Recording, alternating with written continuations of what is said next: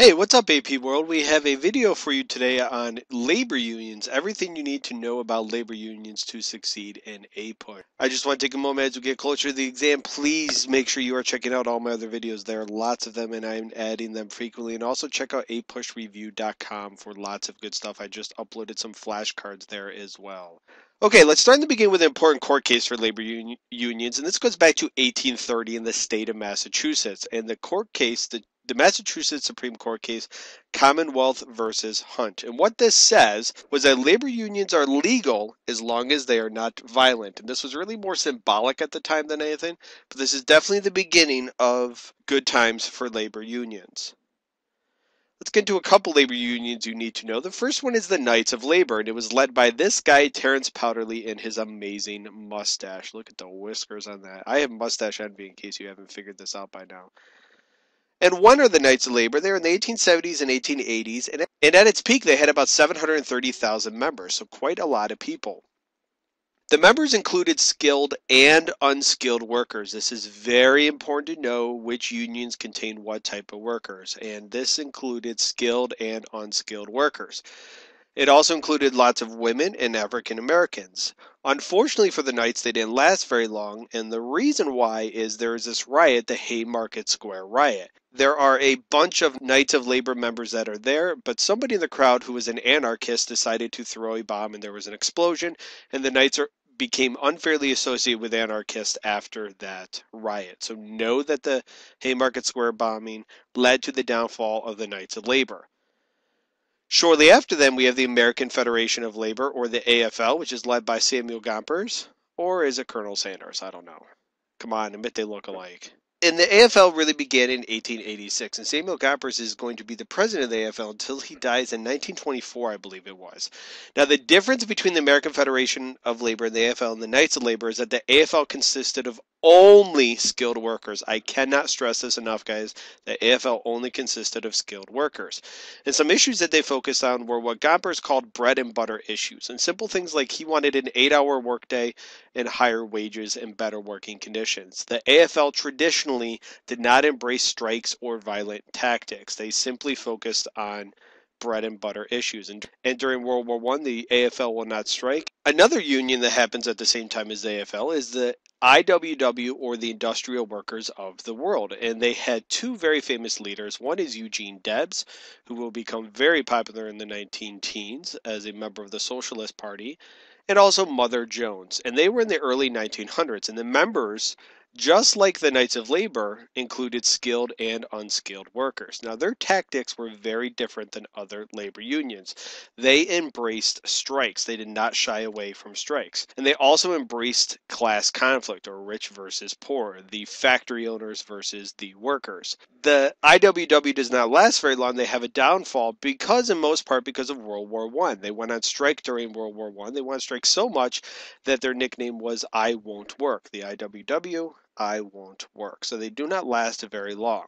There's about four strikes you need to be, be familiar with, and the first one is the Great Railroad Strike, also known as the Great Upheaval of 1877. So you think to yourself, huh, what else happened in 1877? You know that is a compromise of 1877 when Rutherford B. Hayes becomes president. If you didn't know that, check out my video, Key Compromises in U.S. History. A bunch of railroad workers go on strike because their wages are cut so President Hayes, newly President Hayes, sends in federal troops to end the strike. So he sides against the workers. This will be a theme. Presidents tend to side against workers. The Homestead strike, 15 years later in 1892, this was at Andrew Carnegie steel plant, and workers clashed with security guards and then eventually uh, police as well. So again, this is the government siding against workers. The Pullman strike for the Pullman Palace cars happened in 1894, and again, this was a reaction to wage cuts. And President Cleveland used troops to end the strike, so he sent in troops to end the strike. He said it interfered with the mail system. Now, another strike is in 1902, and this time it's President Theodore Roosevelt. And this is the anthracite coal mine strike. Coal workers go on strike. The owner of the coal mine refuses to negotiate with the workers. So Teddy Roosevelt gets involved and he tells the owner, I will come in and I will seize the mines if you do not negotiate with the workers. So this is really the first time that the government does not side against the workers. The previous three, Great Railroad, Homestead, and Pullman, the government sides against the workers for the anthracite coal mine, it does not happen. Very important to know this is a unique strike. So, when in doubt, when there's a strike, the government will side against the workers unless it's Teddy Roosevelt and the anthracite coal mine strike.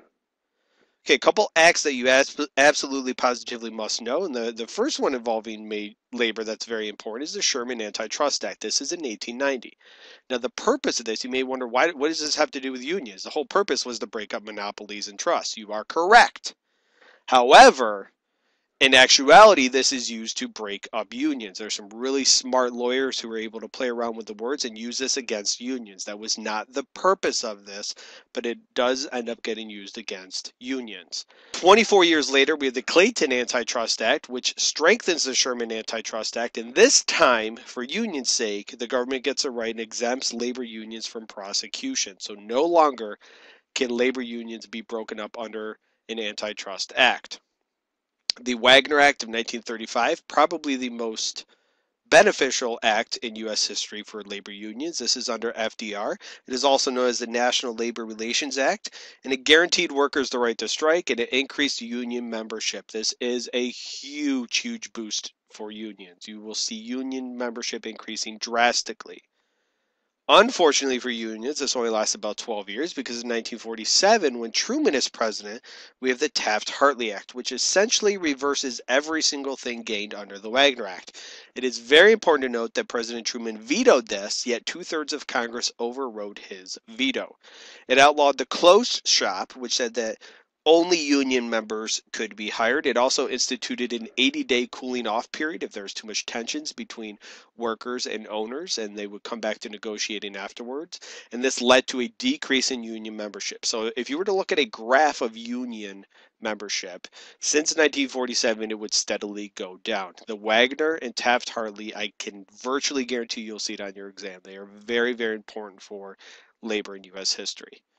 Okay, some key terms to be familiar with is a strike is a refusal to work, and oftentimes when people go on strike, they picket and they protest carrying signs. Now, what do you do if you go on strike? You picket. What do you do if your nose goes on strike? You picket. Did you get it? Been telling that joke for seven years and never gets old to me. A boycott is a refusal to buy goods, and oftentimes you will see labor unions refuse to buy goods from the place of employment they work if things aren't going well. A scab is a name for a strike breaker, somebody who crosses the picket line and works when, when employees are on strike. And oftentimes these were immigrants. An injunction is a court order from the government and is often used to force workers to stop striking. Yellow dog contracts, here's a bad yellow dog, is an agreement that workers will not join a union and if they do, they can be fired. All right, that's pretty much everything you need to know about unions to succeed in APUSH. If you haven't already, take a moment, subscribe to my channel. Please spread the word. Let people in your class know. Let your teachers know.